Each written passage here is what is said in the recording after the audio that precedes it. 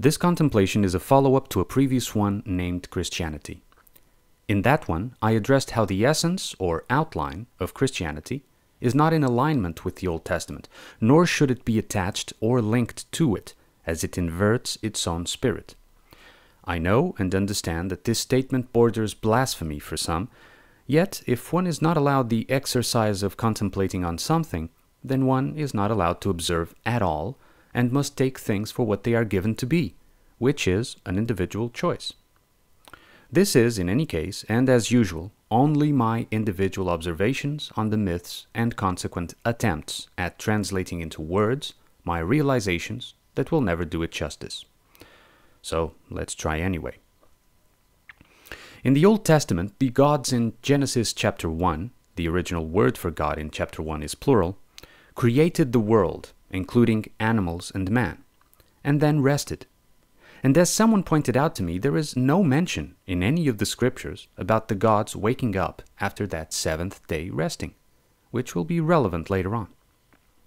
Then these gods turn into Lord, a separate character that made in the world a plentiful, blissful garden where man could exist free of care, which pointed to man being an obvious favorite of this Lord character in the myth, at least the man that he put in the garden.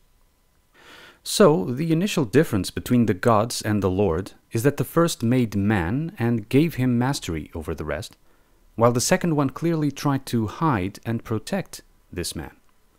One of the aspects that, albeit evident, has received little serious attention is that the creation reflects who the creator is. An outstanding painting reflects an outstanding painter.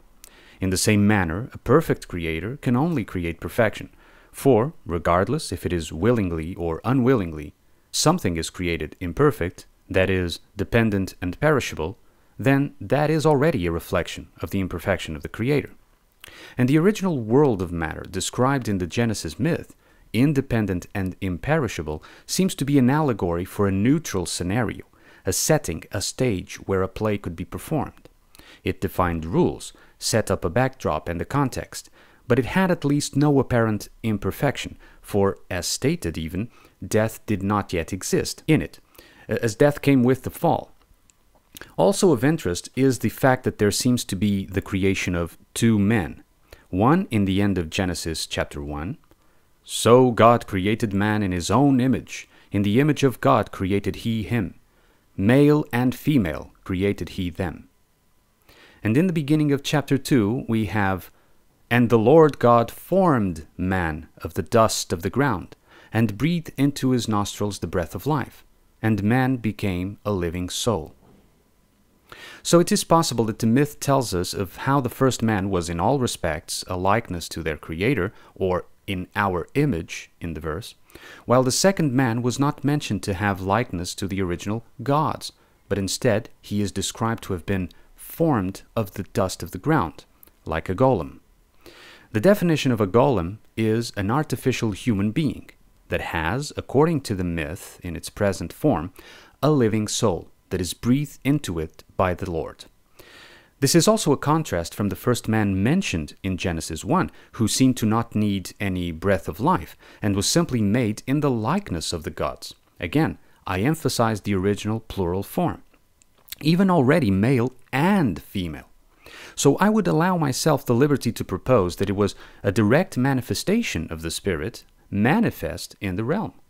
This second man seems to be also a contrast to all other previously created beings, such as the grass and the fish and birds and all the beasts of the earth, who apparently did not require this breath of life either, offer from the Lord, but were made whole as they were by the gods.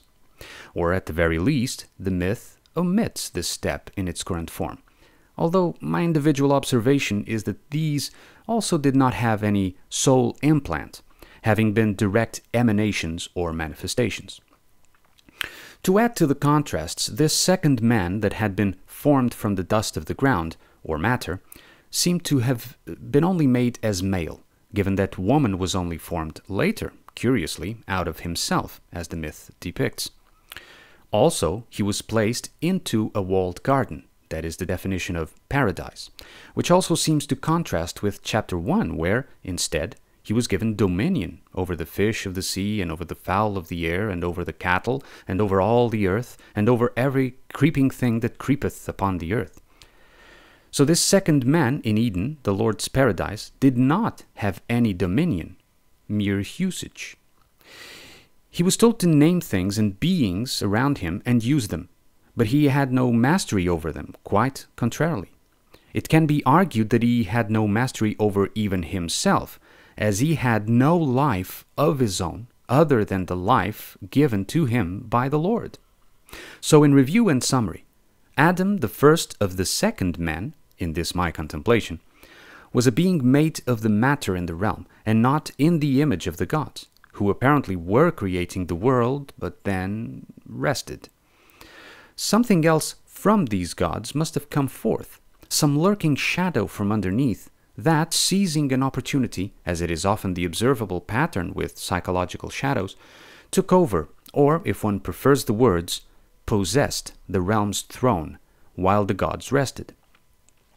Whenever a conscious mind becomes dormant, its shadows or repressed content will always try to seize that chance and make themselves manifest, crossing the metaphorical highway between hell and earth, between the subconscious and the conscious. What followed, and we do not even need to be observing a myth to conclude that, is a spiral of chaos, where things spin out of control for this Lord as he tries in despair to keep them controlled. If we were to look back upon the two most recent contemplations, role playing game and dungeon masters, we could make a link between those demigods mentioned there and the original creators, who, as they were making a new stage world, lost control of it to their own repressed shadows that suddenly leapt to the fore and took over their minds, that, metaphorically, rested and were enjoying a sanctified break. If we take into consideration the extreme concern shown by this Lord to ensure that he is seen as the original creators, as the gods, we can realize the signs of repressed and abandoned emotions, making a vengeful comeback from the oubliette where they were left to rot. Also, if we understand that, uh, that it is this shadow's not only duty but destiny to slay the Creator who forsook him to subconsciousness, after being so ashamed and displeased at the aberration he saw emerging from his own depths, it may provide a clue regarding what the gods resting on the seventh day may actually mean, and why it is a day celebrated by the Lord's organized religions, even though the actual day of resting varies from religion to religion. It is a celebration of the Lord's victory and takeover of the stage world, where the first man, the one mythologically created on the sixth day of Genesis chapter 1, in the likeness of the gods or spirit, was supposed to be enacting his improvised play. So the Lord created the second man, one made of matter instead, and gave him a soul that still belongs to the realm of matter, because this is only what he can control given that the spirit his is conscious antithesis that rejected him. So am I saying that I realize that we are all golems made of mere material flesh and souls? No, not at all. I'd speculate that a significant number of this realm's human population are golems, or NPCs. But I am saying that those of us who aren't have become trapped to inhabit flesh bodies of golems that either get one of our spirit links or a material soul, an AI soul, or nothing, and then are never animated, never become activated, and are usually what they call born dead. Yet, who then, in fact, did create the world after all? Was it the original gods of chapter 1 or the Lord of chapter 2? Well, it would seem revealing that the actual setup was created by the gods, who then rested or died into the matter, and to become linked with their own men made in their likeness, bodies made of spirit manifested directly. And then the shadow overtook the realm, created the second man, Adam, made of flesh and matter, and provided for him the first artificial soul, or AI, and then trapped the gods in this new material man, Mm, like the communist or transhumanist new man? Maybe. This is particularly interesting when we take into consideration the story of the fall and judgment of Adam and Eve. It is extremely important to bear in mind that the Shadow's Lord main concern is his abandonment and rejection by the creators, So he will always try to compensate by attempting to pretend he is the original creator. I am the Lord, and there is none else. There is no God beside me. Or, For thou shalt worship no other God, for the Lord, whose name is jealous, is a jealous God.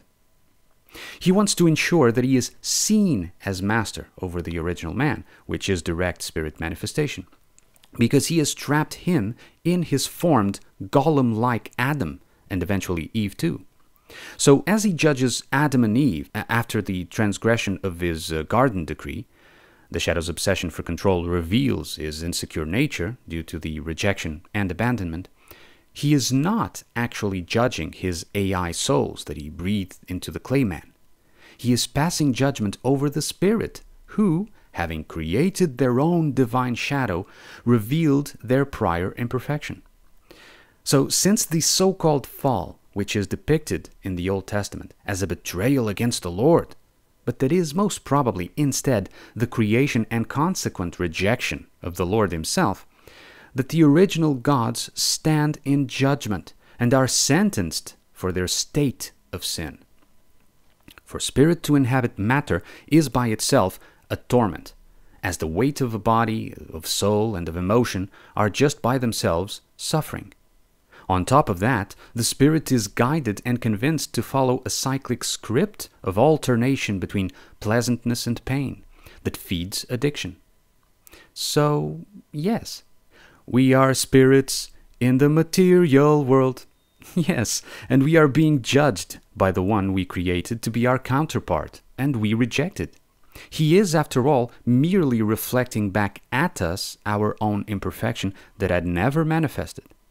And this finally brings us back to Christianity again, where I postulate that the Christ figure of the myths is not originally linked in any way to the Lord, but to what he calls the Father, or the gods. I have discussed in the contemplation named Christianity why I observed the link between salvationism and Old Testament as a false link, being two opposed ideologies forced to be together to hide the evident predicament. The origin of Christianity, even certainly before in time it ever got that name, lies in the manifestation of Spirit or Father, in matter or mother, through the Son or true soul.